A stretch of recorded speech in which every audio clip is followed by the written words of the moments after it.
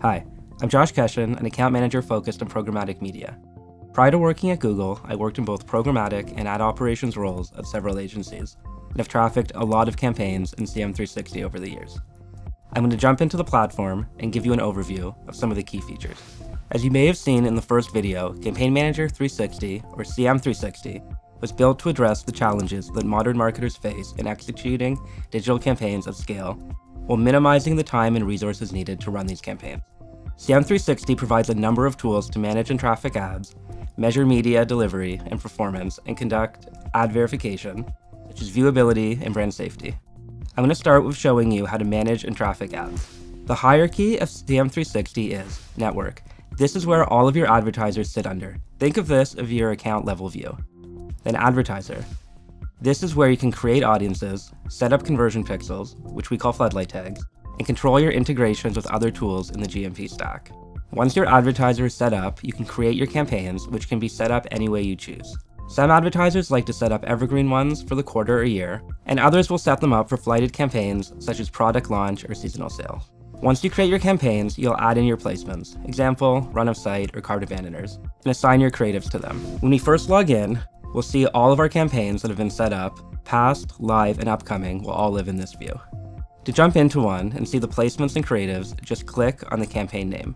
In the Advertiser tab, we can set up new floodlights and assign custom variables to track additional data, such as the product being viewed or purchased, page visited, etc.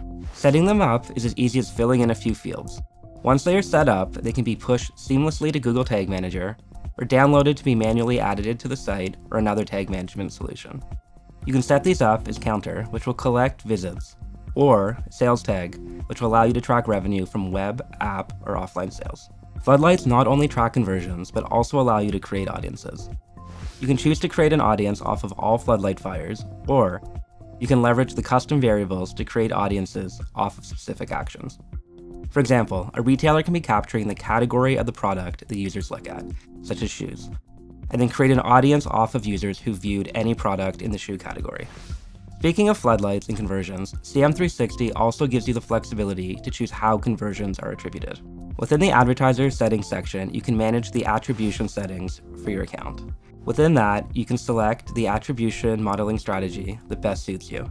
To choose the one you'd like to make the primary one used, click the checkbox next to a model, then click Make Primary to change it to your primary model. The attribution model you choose as primary will be the default for all line items associated with the floodlight. This will also inform bid optimization within Display and Video 360, creative optimization within Campaign Manager 360, and conversion reporting for both tools for the line items leveraging that floodlight. The model can be changed from a default to a different model for individual line items by going into line items and then conversion tracking.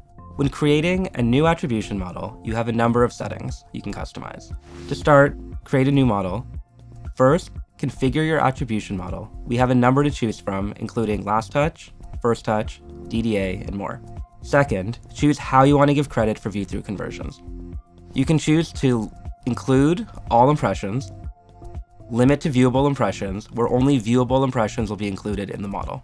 Limit to engage views and viewable impressions, where all video impressions are included, and view-through conversions are counted for video if they meet your engage view criteria.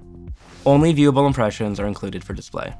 Next, in one of the most important steps, you can choose whether you want Campaign Manager to model conversions for when third-party cookies or mobile device IDs are not present. This is a critical feature in filling in attribution gaps when these identities are not available. Last, you can choose whether you want conversions from this attribution model sent to ADH for more complex, advanced analysis. All of your creatives get stored at the advertiser level, whether you upload it at this level or in a campaign.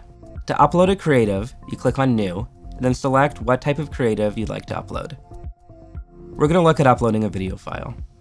First step is to give your file a name. Then, you scroll down to Add Asset and upload your file. If you have a companion banner, you could upload it in the Companion Creative section. Once your file is finished uploading, you'll notice that there are now multiple serving files. After you load your file, CM will detect whether your uploaded video asset satisfies the video requirements for the key publishers in the video specification library.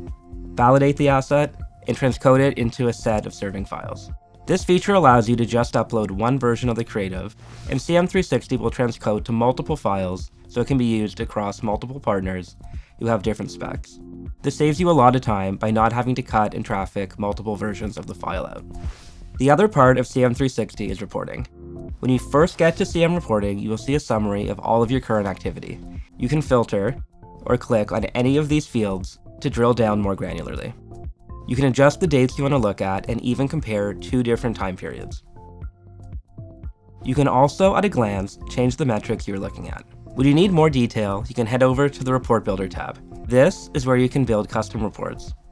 These reports are highly customizable, enabling you to choose exactly the items you want to report on, the precise date range, and the metrics you need to understand your campaign's performance. You can also view existing reports that have been created, as well as saved outputs from existing reports. Instant reporting allows you to see data immediately, instead of waiting for a report to run and then downloading the file for offline viewing. Instant reports can be a single use or saved for later, and also made into visualizations like bar and pie charts. Instant reporting is used by a lot of my clients to set up snapshots of their campaigns.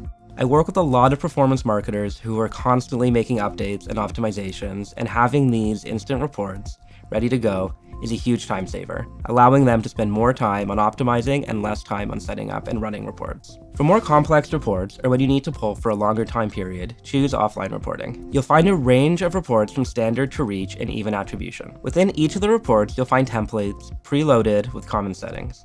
Once you choose a template, you can add in filters to narrow down to select advertisers, campaigns, or other options, by selecting Add Filter. You can choose to run the report using the templates as is, or you can add or remove additional metrics or dimensions. You can even reorder them so they appear in a different order on your report.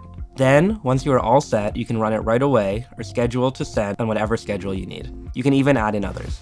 Verification protects the integrity of online advertising by helping marketers serve ads that are tag compliant, are served to humans and are not fraudulent, display correctly in brand safe contexts, deliver quality results. Here, you can see if there are any issues with your tags, if your ads are running on unsuitable content, or out of geo, and more.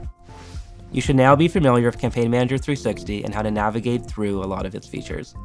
For more on CM360, check out our help center at support.google.com slash marketing platform and click on the CM360 logo.